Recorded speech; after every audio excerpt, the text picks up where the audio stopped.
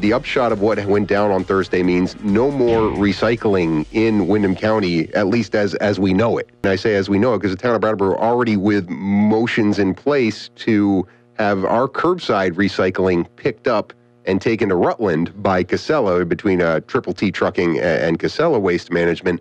But this closing of the materials recovery facility and stopping hauling of this, uh, the surrounding towns, the other 19 towns who are part of Windham Solid Waste Management District, what do they have to do now in order to comply with law on recycling here in the state of Vermont? Well, they're going to have to have their recycling taken somewhere else now. Right. And so, yeah, I think it will end up in Bennington County. Basically, it's every town for itself.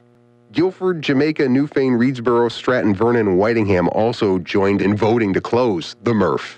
Uh, why do you think those other towns didn't care whether this was operational or not? I think a lot of them are kind of at the point where they're tired of trying to figure out how to keep it going and, and wondering from year to year whether it, it was going to, to, to be operating and having the same discussion. And I think they were all kind of feeling, well, it's time to, to do this on our own.